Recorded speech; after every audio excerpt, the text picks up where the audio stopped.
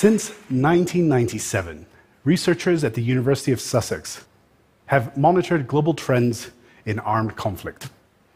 Their research clearly shows that in Africa, over the last 10 years, armed conflict has gone up by sevenfold. Let's think about that. Sevenfold in a single decade. Why is this? We believe as oxygen is to fire, so are unemployed youth to insecurity. And we have a lot of youth on this continent. Youth like Sandra, who on a Saturday morning in March 2014 woke up excited at the prospects of getting a coveted job at the Nigerian Immigration Services. She kissed her daughter goodbye, left her home, never to return. Sandra and 15 other young Nigerians died that day, applying for a job. In the ensuing stampede, as tens of thousands of people applied for a few thousand open positions. In the last 20 years, 20 million youth have entered the Nigerian workforce alone. Today, half our population is under the age of 18. That's almost 80 million people that will be entering the workforce in the next 20 years. My friends, if a wave of 20 million people entering the workforce triggered Niger Delta crisis, Fulani herdsman crisis, and Boko Haram, I ask you, what will four times that number do? To do my part to solve this challenge, in 2012, I moved to a small village in northern Nigeria. In the center of the area most recently hit by the spread of insecurity, brutal bombings, and searing poverty, with an idea. Could we create an economic buffer to halt the spread of this insecurity by unlocking the power of agriculture as a job creation engine? We knew this had been done before in countries like Thailand, where in 1980 they suffered from the same economic challenges as us. Today, however, Thailand produces 2 million cars a year, more than the United Kingdom, with over 30% of its workforce as highly commercial, profitable small farmers, with an unemployment rate of less than 1%. How did they do this? In the 80s, Thailand dramatically improved the productivity of its small farmers ensuring that it was able to start to dominate export markets for produce. Building on this strength, they attracted investment and started to process, being able to export higher value products like starch from cassava. Finally, coupled with investment in education, they started to expand to even higher value manufacturing. To make our idea a reality and follow a path similar to Thailand, we knew that we would have to sell young farmers on farming. A young man in northern Nigeria, for the purpose of today's discussion, we'll call Saminu, made it very clear to me that this would not be easy. Saminu grew up in a beautiful village in northern Nigeria.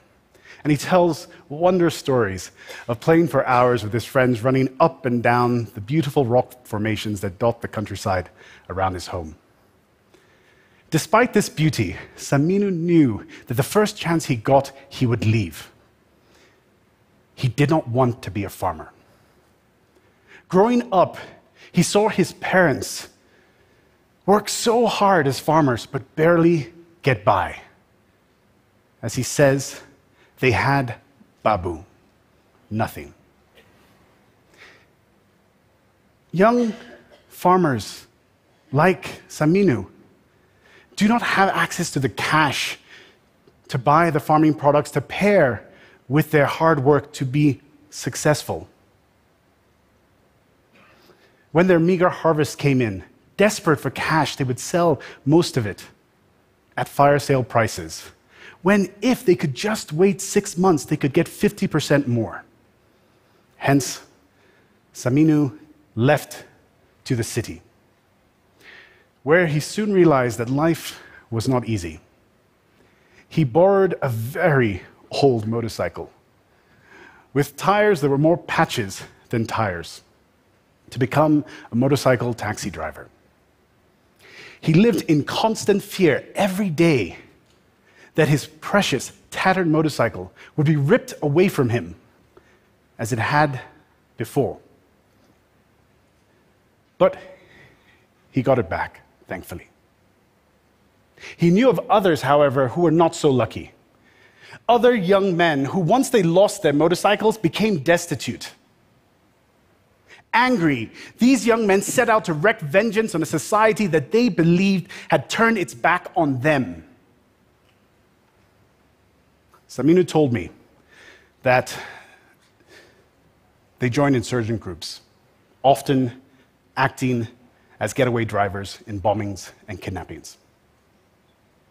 To end this cycle of insecurity, we must make farming a viable choice. We must ensure that these young men on their small farms can earn enough money to make a life for themselves, to make a future. The question now is how? Recognizing that Africa has grassroots level leadership, we simply developed a model to bring the professional management and investment to scale to these grassroots leaders. We called it Babban Gona Great Farm in Hausa. Upon reaching the village in 2012, I traveled from community to community, trying to convince people of our idea trying to recruit farmer members. We failed woefully that first year, barely recruiting 100 brave souls. But we persevered. We kept doing what we promised. Slowly, we gained their trust. More farmers joined us. Fast forward now five years with a passionate and committed team and the tremendous support of our partners. We grew dramatically. Today, serving 20,000 small farmers, enabling them to double their yields and triple their net income relative to their peers. We are very proud of the fact.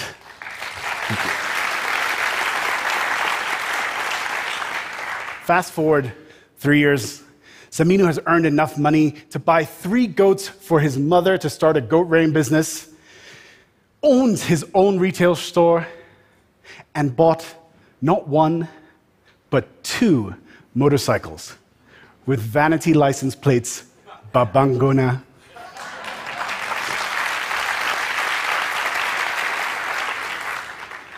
My friends, in the next 20 years, over 400 million Saminus are entering the African workforce, with potentially half of them having opportunities in agriculture.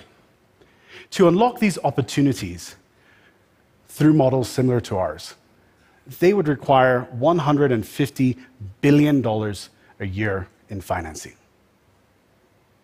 This is a big number. But if we can tap into commercial debt, it is a small number.